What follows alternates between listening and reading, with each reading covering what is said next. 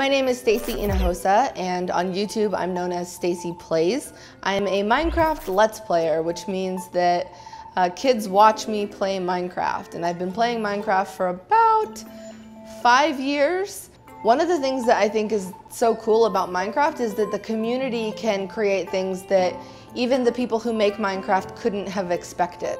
What I think is so great about the Hour of Code is that you're starting to learn things about coding but within the setting of Minecraft and seeing how it applies to Minecraft. And so that kids who know so much about the world of Minecraft already already have an advantage when they're learning code this way because they're already used to how things work in the game. I wish that it had been around when I was in school. I was into creative writing, which I think is somewhat similar to what I do now, but I think in a way coding is like a different version of creative writing because what you're writing in your code comes to life in the game.